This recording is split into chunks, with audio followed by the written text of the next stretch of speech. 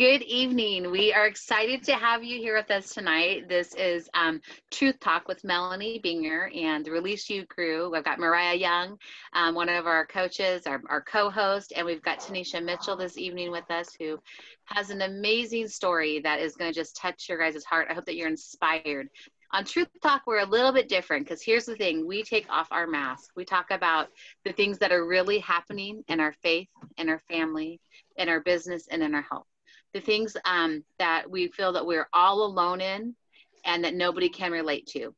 So tonight we're going to talk about how do you get rid of that shame? How do you get you know how do you deal with when you're feeling that you're in that judgment? Um, how do you get out of that place of hopelessness and gain the courage to move on?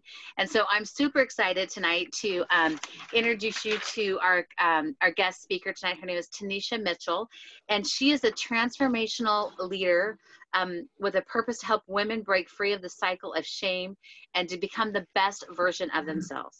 She's a speaker with two best selling authors, two best-selling books. She's a CEO and she's the owner of A Plus Healthcare and is ready to share the tools that will help one love again.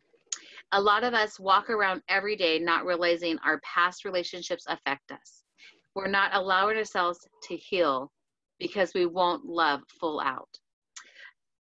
Tanisha has um, revealed her hurts in her new book that's out, Daring to Love, um, with, which chronicles her journey on um, as a domestic violence survivor as she introduces herself to introduces us to the, her new self.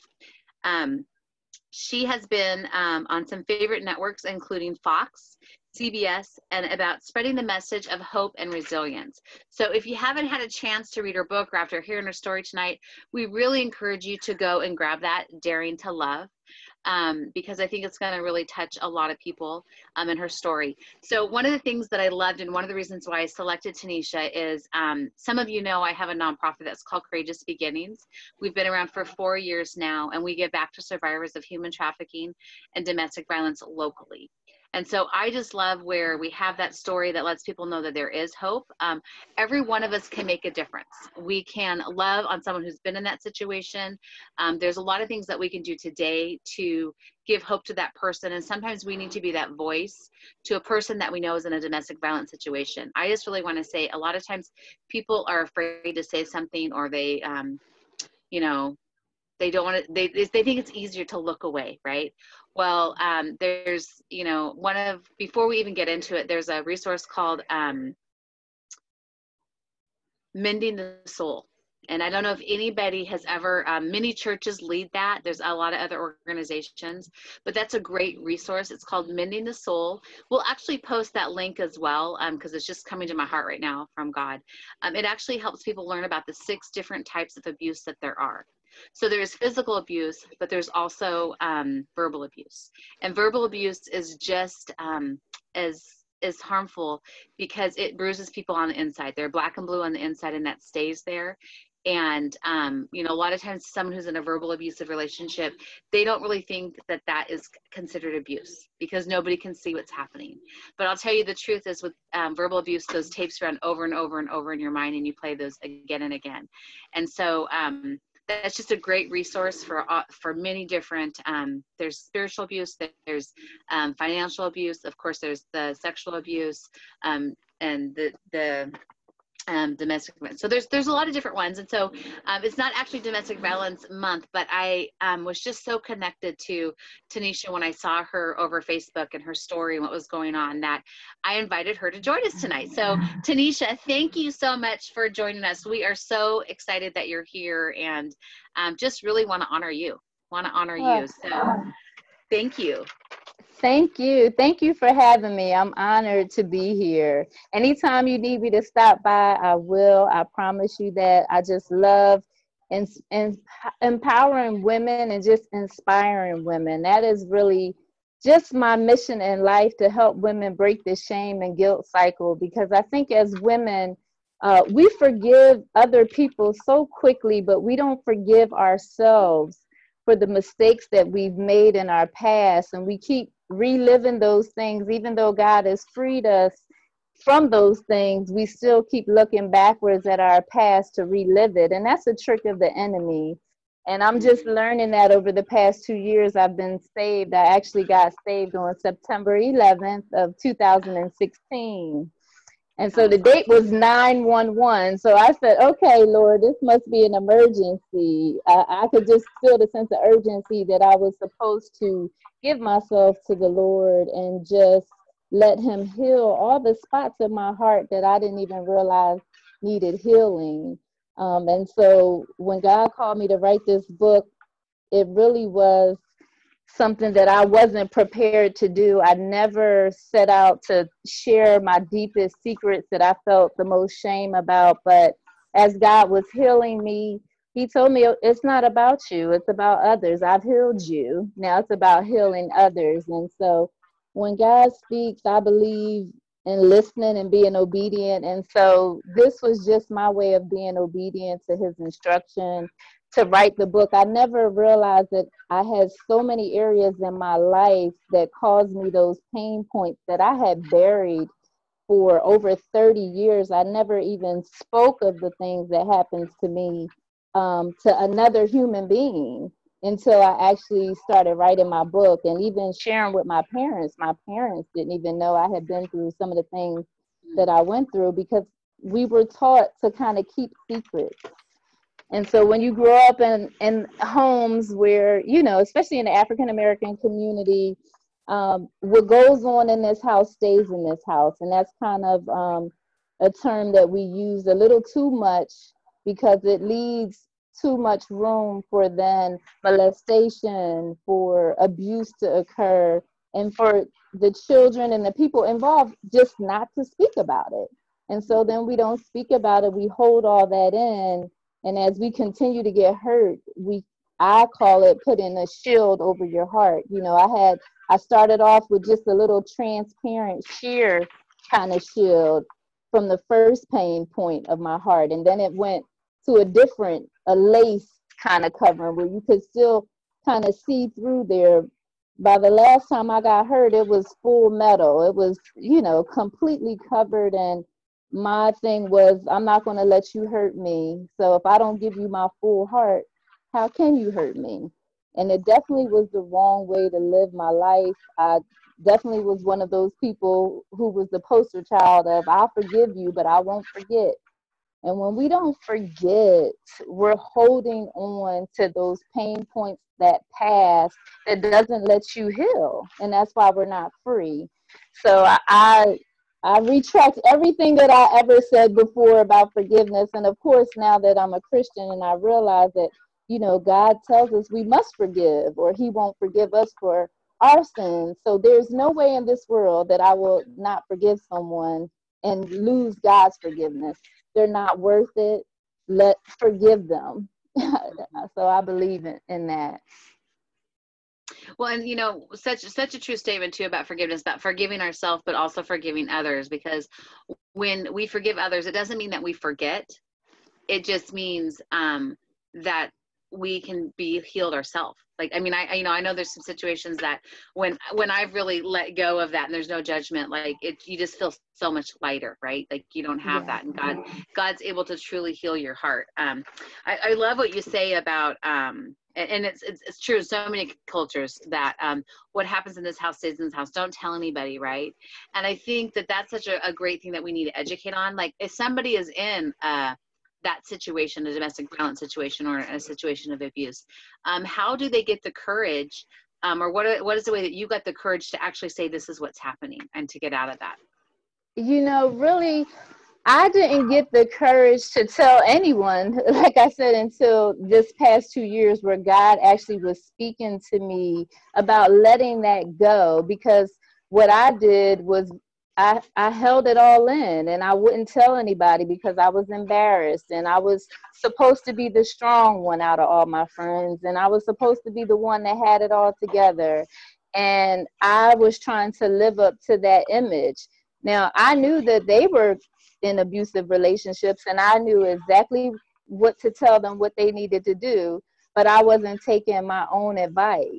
Mm. And when that abuse first started with me, uh, I was put in a situation where I had given up my home to move in with this person, and I never thought, you know, that they would turn around and do this type of thing. And I knew if I would have shared something like that with my father, that my father would have wound up being in jail. So I was scared to even tell those who love me because they're protectors of me. I'm the only child. And so there was nothing that my dad wouldn't do, you know, to rectify that type of situation. And I felt like I got myself in that situation. I wanted to get myself out of it. But it took me a long time uh, to realize that I didn't deserve this and it's not okay. I mean, we, a lot of times we forgive and we feel like, you know, I remember his mother coming to me saying, you know, well, he didn't really mean it. His dad used to beat on me and he saw that growing up.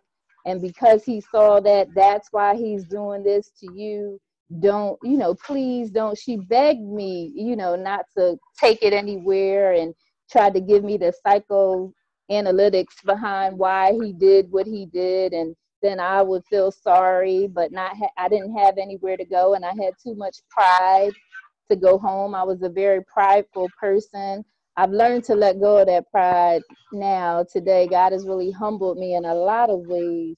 Um, I didn't even realize I was as, as stubborn as I was and as prideful as, as I was because I could have went home at any time. And I think a lot of women sometimes stay in those situations because they think they're embarrassed, they're ashamed, and they feel like they can't go home, they can't tell anyone. But it's nothing to be ashamed about. It's not your fault that, th- that this is happening. Reach out for help. People love you and they will support you. You'll think that people won't support you, but they will support you. Um, you know, my parents were devastated that I didn't tell them what went on with me, but I said, you know, we're not going to let the enemy use my disclosure to repeat the shame and now you. What we're going to do is use it to understand where God has brought me through and use it for us to be closer, not to cause distance and, and say, you know how parents automatically are going to feel like they failed in some way but that is definitely a trick of the enemy because i know god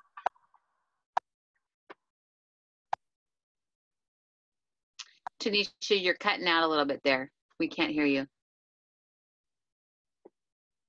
We can't hear you. Okay, let's.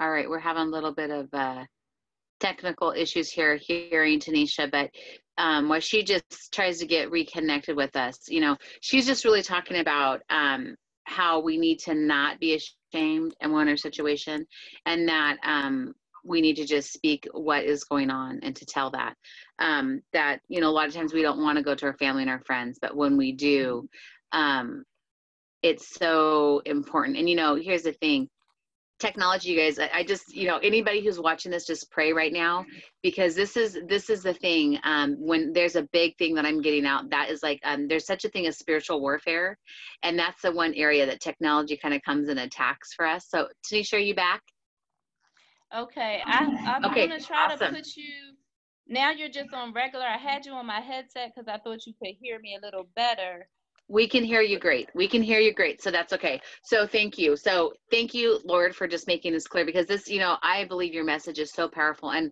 and the truth is there are people right now in that situation that know they need to get out but they're ashamed and they don't want to say anything because they, they've got that pride.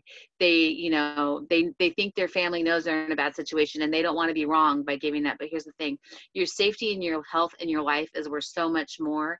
And it reminds me of the prodigal son like how he did all that you know and he you know he thought he had all this but even when he went home his dad loved him so much. So no matter our situation god loves us and those other people love us um, and you know the thing is, I'll also will also post a hotline number for anybody who is in a domestic violence situation that you can call that or have that number to give to somebody because sometimes um, it just take it just takes the courage to call that nine to to get that help. And there are shelters and services out there that can help you also um, and safe houses if you know you don't have somebody who will. So okay tanisha going back to you i love what you were saying about um, how um, you were going to use your story and the situation to stand on and to grow closer together and to, to not feel shame even from your parents perspective Yes, absolutely. We have to because if we if we don't, the enemy will use what we thought was freeing and try to turn it again to a shame point for someone else. And so mm-hmm. I refuse to give the enemy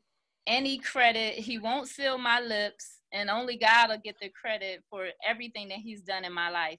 And that's the other thing I, I just have to say. When we don't share our testimonies and the things that we've been through in life, we are actually allowing the enemy to seal our lips. And we're not giving God the credit that He is due for the things that He's done in our lives. We can't make it seem like our life was so perfect and God didn't bring us through every single valley, every single storm. He is the only reason why we survived those storms. But yet, and still, we want to be quiet and let our pride and shame stop us from speaking about the beautiful things and amazing miracles that God has brought us through that most of us should have been dead by now. I should have not only been dead because at one point my husband had a gun to my head ready to kill me over an affair, but I knew whose name to call.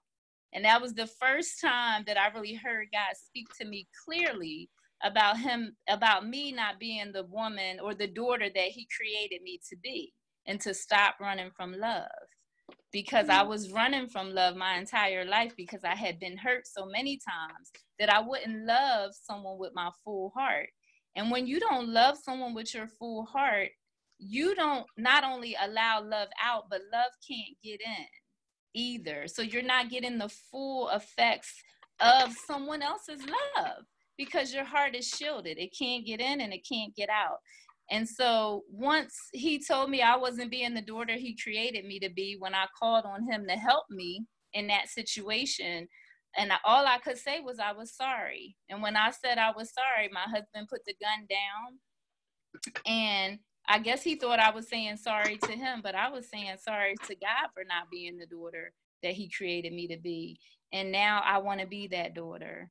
Mm-hmm. So I'm just so thankful that he chose me to you know speak to other women help other women in any way that i can if my life can help somebody else just by sharing my testimony so that they can see that they also can get through the things that i've been through in my life domestic abuse and i've been through almost every form of abuse financial abuse where i was with an older man who dictated every dollar that i had and no money was my money. And I originally was working for him and he was my boss.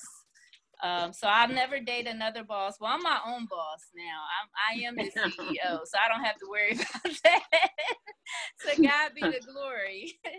I'll, yeah. I'll never date a boss, but I, I'll tell you, um, that just gave him complete control of my finances. Um, and and he used it to his advantage, and that's a form of abuse. So I didn't even realize that that mm-hmm. was a form of an abuse until I started doing some research on domestic violence. Like you said, it's not only physical violence, it's financial abuse, it's emotional abuse, you know, verbal abuse, uh, all different kinds of abuse that we don't realize that um, we're going through. So. Yeah. So, will you talk about getting um, out of a survivor's mindset? Um, what does that mean to you? Getting out of a, a survivor's mindset means that I'm not, I'm no longer in my fight world, that I just am fighting to survive. Like it's chaos.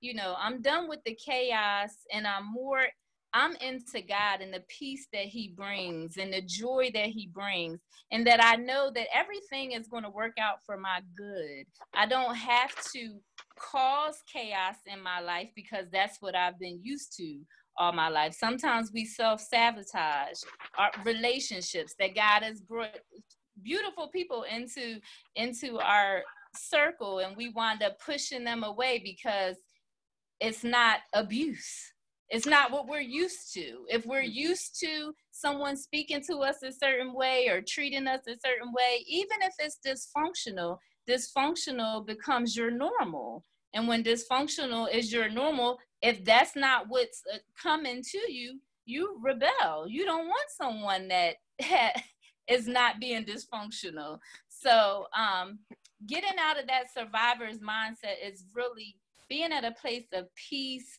where I'm okay with not having any chaos in my life.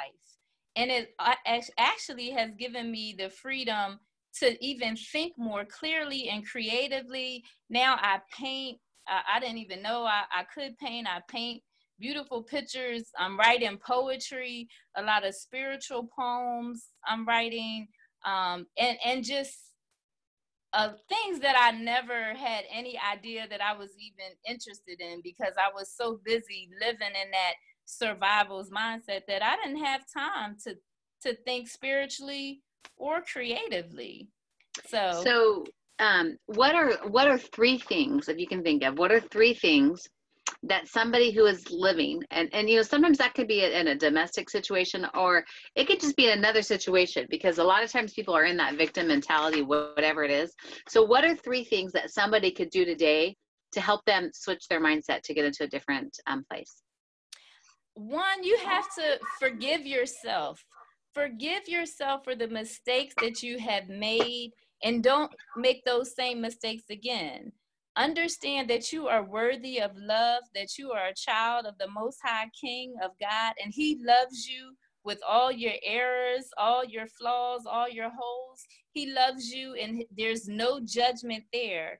If you can get into a relationship with God, not in a, not just a Sunday experience, not just a once a week thing, but be in a relationship with God, He will heal your heart. It's so amazing. And He will let you know your worth. And you will start feeling worthy and you will bring your standards up. And people can't treat you a certain way and they can't talk to you a certain way because you're just not going to tolerate it because you know that you are worthy.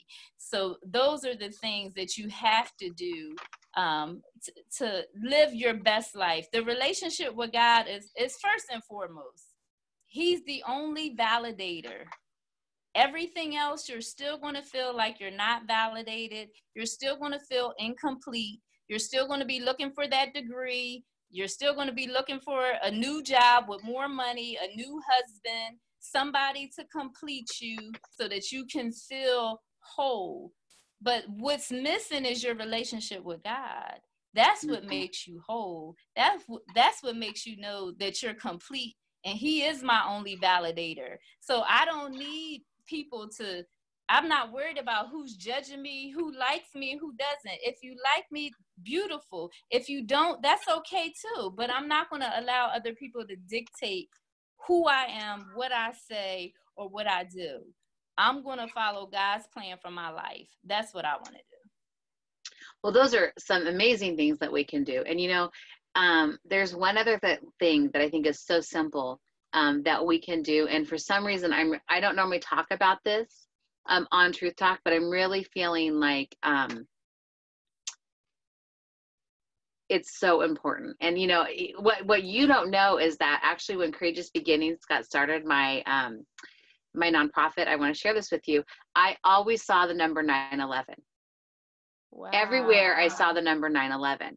And I would see the time, and I thought, oh, God wants me to do like an event on 9 11, which I thought was crazy since that was such a big thing in the world. And then I thought, well, maybe I'm supposed to do a, uh, you know, a, a I did a, a a telesummit online and I did that at 9 11 because it would be like I got my kids to school. It was easy. I had a few minutes. And so I would start at 9 11. And I kept thinking, I looked in the Bible for all these different verses. That could be chapter 9, verse 11. And is there something God's leading me to? And um, anyhow, I got introduced to a lady and I went to, that was, um, that was in alignment with me. And someone said, she could probably really help you with your, with your um with your nonprofit that you've got a vision to do and so i went to go have a coffee with her and i had her address and i knew she was in suite 201 and her name was pat johnson and thank you pat i just honor you and i just i'm so blessed to have met you um, and then I went to, when I went to go meet her, I looked at the reading board that says like, here you are. And I was like, okay, where's suite 201? And I didn't know the name of her business, but the name of her business is 911 Ministries. Wow. And so it was a confirmation to me that I was supposed to go ahead and start um, the nonprofit. And so when you started saying 9-11 a lot of times god will get my attention by that number and i'm like oh this is so amazing that god brought us together and just made me smile so much when you said that that that's when you were saved and it leads me to believe um, tanisha that there might be somebody who's watching this who doesn't know christ yeah right So, um, what, how, how did you come to know Christ? What did you have to do? I'm sorry. One second, because the phone the phone went out. Okay. Can you repeat that? Okay. I said, I what I said was, how did you? What did you have to do to have Christ be your savior? You know, he, the Holy Spirit actually just led me to the altar. I, I really can't take any credit or say I was in control of anything. I wasn't thinking that it was going to be done my spirit just it said get up and go to the altar and commit your life to Christ. And when I heard, you know, the pastor talking about how the enemy is probably trying to get you to stay in your seat, that that was all all I needed to hear. I was like, "Excuse me, get out of my way! I gotta get to the front." Because you know, you start you hear start hearing that other side.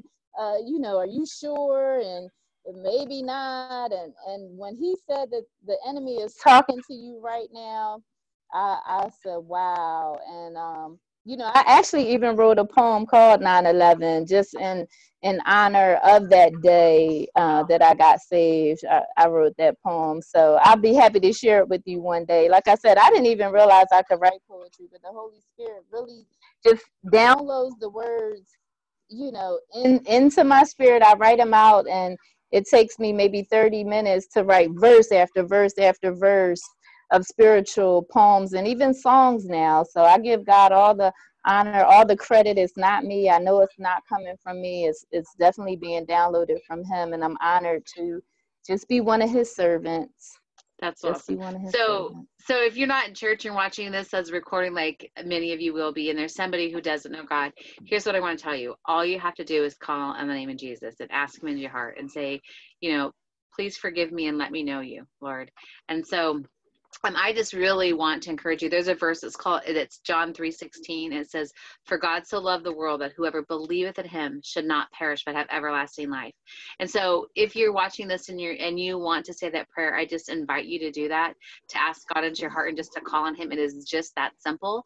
Um, and if that is you, please make sure that you message us because we would love to know that and to pray.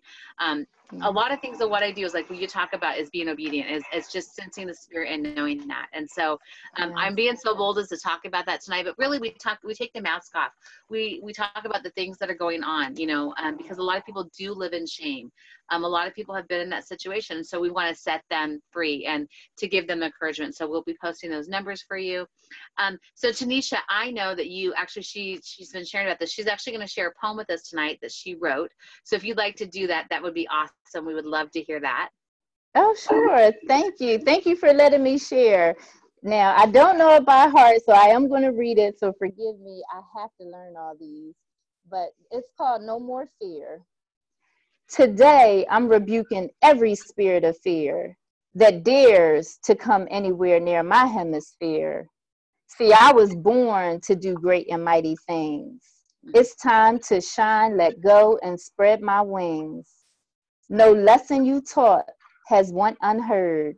That's why I'll be first, not second or third. To give you all the glory is my heart's true desire. No matter how long the process, I will not wither or tire. You've given me the strength and grace to always get up. Your call for my life could never be too much. To whom much is given, much is required. In my spirit, the scripture is wired. Teach me, Lord. Show me who I really am. No more hiding. I don't want to pretend. Lord, if you're calling me to preach, Teach me what I should say and to whom I should speak. Give me the courage and the knowledge to help my sisters break out of bondage. Muzzle insecurities once and for all. Help me, Lord, to be bold with you. I can't fall. Resting in your loving arms where I belong. When I feel weak in you, I'm more than strong. It doesn't even matter how many things we did wrong.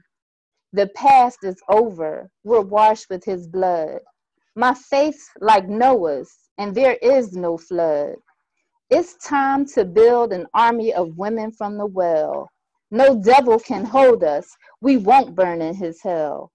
We're rising up to become the daughters our Father created us to be. One touch from you, Lord, and we'll live to fulfill our destiny. The fear is dead. We stomped on its ugly head. No shame can hold us, only God can mold us, shaping us into be who He created us to be. Done spending time playing games with the enemy. See, my Lord, He has given me authority. And right now, devil, I command you to flee. You can't live inside of me. You won't stop my destiny. My God has covered me, and yes, I will be free, not just today or tomorrow, but for my God's eternity. No more fear. Amen. Woo! Oh my gosh, I love that. That's good stuff. Thank you. Oh, that is beautiful. Thank you for sharing that. That is like was bringing tears to my eyes. Um, Thank you such such a true gift that God has given you. And I would say never seal your lips, but to boldly share those gifts because um, that is a true gift of God. That right there. Stunning. Thank you. Yes, yes, absolutely. Thank you so much. Oh my gosh, I am just so excited that you came and you share with us tonight. And it is no wonder that we were having so many little battles of um, technology. I, it just makes me laugh you know so i share right. that with you all that if you are growing and there's an area where you know um, god is really calling you and you, you you you know you keep hitting a wall just realize that um, it's there's spiritual warfare and there's a great um, bible study by priscilla shirer right now mm-hmm. um, you know it's really interesting tanisha you were talking about putting on armor of the of the shield like of the lace and then the how it became metal and then you took that off. Well um, there's a it's called um, Armor of God, and it's a Bible study by Priscilla Shirer. That is a mm-hmm. great Bible study if anybody's wanting to learn about spiritual warfare and and just how to activate and put put on that armor of God daily. Um, and one of the things of activation is prayer, and so that's just one of the things that you can do in any situation um, is to pray. So I'm so excited. I want to thank everybody um, for joining us tonight. I, if you are watching this, I want to challenge you. Share this with one person. Share this on your page um, because this message needs to get out. Um, because there are people now that are in shame, that are in domestic violence situations, and they don't know how to get help, or they're afraid to to move forward. Um, and so I just I thank you for tuning in to Truth Talk tonight. I'm so excited. We're, we're here every Thursday night at 6 p.m. Um, uh, Pacific Standard Time and 9 Eastern Standard Time. Catch us live or on the replay. Um, but I really, um, please, would if you if somebody came to your mind as you heard Tanisha's poem or Tanisha's story, um, I ask that you would um, that you would share that and then you know um, follow her. Would you go ahead Myhriah and post that page with her information so that we can follow her um, on facebook? We can follow her on facebook or go and get her book. Um, that would be awesome. So we'll post that right before we go out. You guys have a blessed week and we will talk to you soon